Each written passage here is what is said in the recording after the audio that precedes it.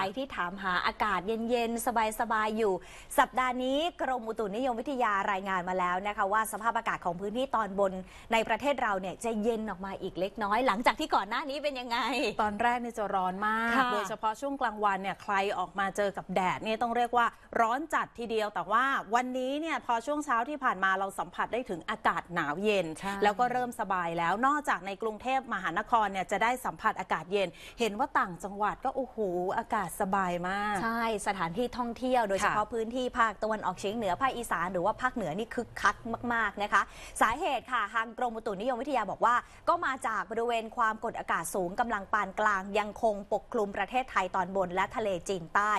ลักษณะเช่นนี้ค่ะก็จะทำให้พื้นที่ภาคเหนือ ภาคตะวันออกเฉียงเหนือ ภาคกลางนั้นมีอากาศเย็นค่ะ อุณหภูมิเนี่ยเฉลี่ยแล้วนะคะจะลดลงประมาณสัก 1-3 องศาเซลเซียส กับมีลมแรงค่ะ แต่ว่าบางพื้นที่ก็อาจจะมีฝนเล็กน้อยนะคะ ในบริเวณภาคตะวันออกเฉียงเหนือตอนล่าง ขณะที่มรสุมตะวันออกเฉียงเหนือยังคงพัดปกคลุมบริเวณอ่าวไทยและภาคใต้ ก็ยังทำให้ภาคใต้มีฝนบางแห่งค่ะ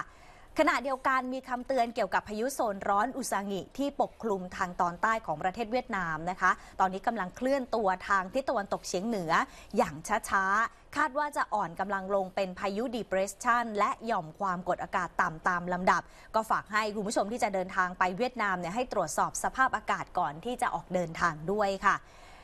และอย่างที่บอกไปนะคะพออากาศเย็นๆ แบบนี้ก็ส่งผลดีต่อการท่องเที่ยวทั้งในพื้นที่ภาคเหนือภาคอีสาน อย่างในภาคอีสานเนี่ยค่ะที่อำเภอสังคมจังหวัดหนองคาย โดยเฉพาะพื้นที่ที่อยู่ติดกับแม่น้ำโขงนี่ค่ะดูบรรยากาศนะคะ ในช่วงวันหยุดสุดสัปดาห์ที่ผ่านมานักท่องเที่ยวแน่นจริงค่ะๆนะคะก็ไปสัมผัสบรรยากาศ เย็นๆริมแม่น้ำโขงแบบนี้นะคะ วันนี้เนี่ยผู้สื่อข่าวรายงานมาบอกว่า